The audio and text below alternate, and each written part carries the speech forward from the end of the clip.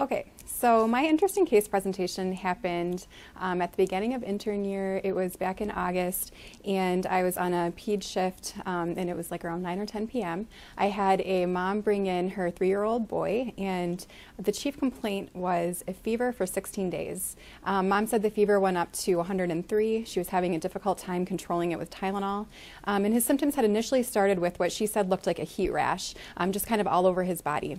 Shortly after that, she noticed sores on his hands and his mouth and on his feet. And the sores in his mouth actually progressed to the point where he was really unable to take in much of anything by mouth, and they were giving him fluids through a syringe. She additionally noted that his lips were red, his tongue was kind of red. She had noticed some redness in his eyes and some swollen lymph nodes. Um, and through the course of the period of his illness, she said that he had lost almost three pounds. Um, during this time, they had gone to the primary care provider twice for the persistent fevers. Um, the first time that she brought him there, they gave him a diagnosis of hand, foot, and mouth disease, and this was consistent with his sister having similar symptoms and also having hand, foot, and mouth disease at the time. The second visit, they actually did some lab work, and there was some sort of abnormality the mom told me that had caused him to be referred to hematology at Mayo. Um, she wasn't sure exactly what the abnormality was, though. Um, she told me that in the recent days he had been um, progressively more irritable and he started to complain of um, kind of some joint pain. Okay, so on physical exam, um, his vital signs, his heart rate was in the 160s. Um, he had kind of some redness in his conjunctiva, um, flushed cheeks. Uh, his lips were cracked and fissured. He appeared pretty uncomfortable, was kind of crying and, and definitely irritable.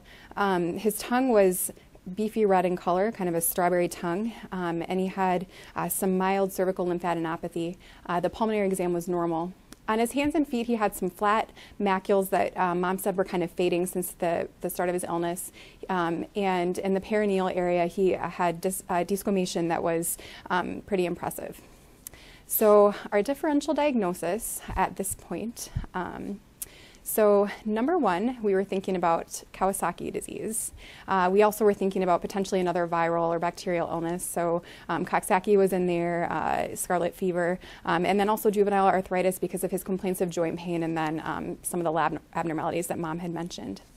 So uh, at this point, we decided to do some lab work. Uh, so we got a CBC, and on CBC, he had um, a white blood cell count that was 20,000. Um, also had a platelet count of 820,000, which we assumed was, you know, probably the abnormality that he had been referred to hematology for. His electrolytes were normal, AST was somewhat elevated, and he had elevated inflama inflammatory markers. Uh, 12 lead EKG in the department was normal. So his ED course, um, we um, started off giving him high dose aspirin, so that was three baby aspirin for him. We gave him some IV fluids because of his decreased PO intake, um, and then initiated a dose of IV immunoglobulin. And despite the fact that the patient was past the, um, the 10 day window where you would normally give IVIG, he had signs of persistent inflammation, so it was still indicated to treat him with that. Um, he was ultimately admitted to the pediatrics team. So his hospital course, he was scheduled for an echo the following day, and on echo, they saw large aneurysms of the right coronary artery and left circumflex. Additionally, he had some wall motion abnormalities, and on repeat EKG, he actually had signs of anterior infarct with um, signs of ischemia in the anterior leads. Uh, CT angiogram also confirmed the, the, aneurysms, and at that point, he was admitted to um, the pediatric ICU um, so that they could um, further manage his coronary uh, aneurysms.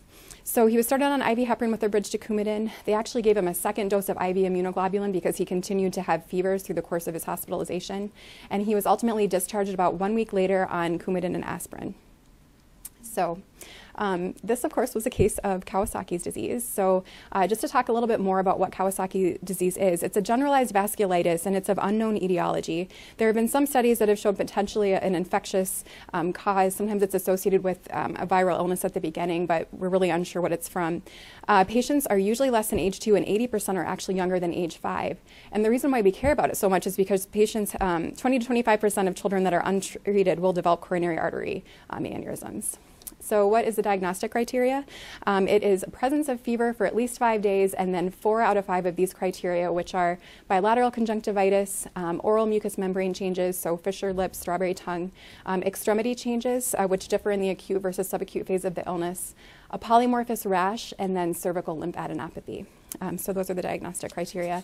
Um, the manifestations differ in the acute versus the subacute phase. You have fevers throughout both phases, um, but in the beginning you have uh, a myocarditis, which around week three um, is when the aneurysms uh, usually develop.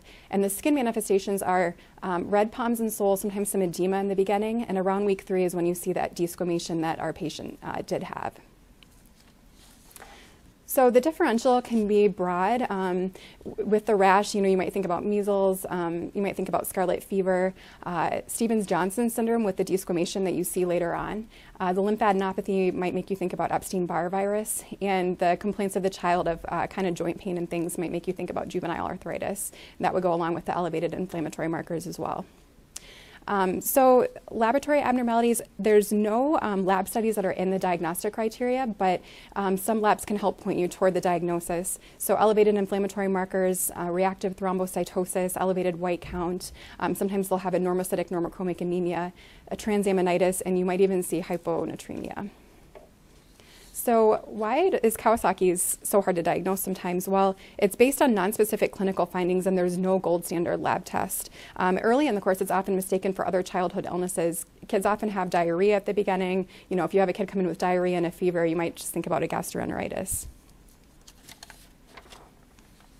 So um, because of the difficulties in diagnosing it, the um, AAP actually came up with this um, algorithm, which is helpful. So they recommend that if a child has a fever for five days and then two or three of the clinical criteria, um, it's indicated to assess the CRP and ESR. If those are elevated, um, uh, they recommend doing an echo. And if you have more than three of the supplemental lab criteria, they actually recommend uh, treatment with aspirin at that time along with echo.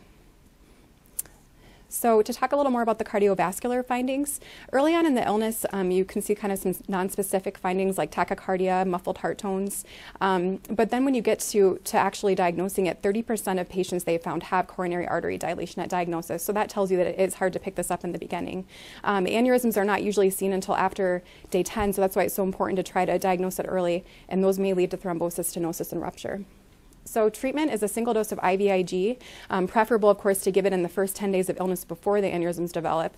Um, you can give it beyond the 10-day window in patients with persistent evidence of vasculitis and inflammation. Um, and then, uh, of course, high-dose aspirin, which we wouldn't give otherwise because of the concern for um, syndrome.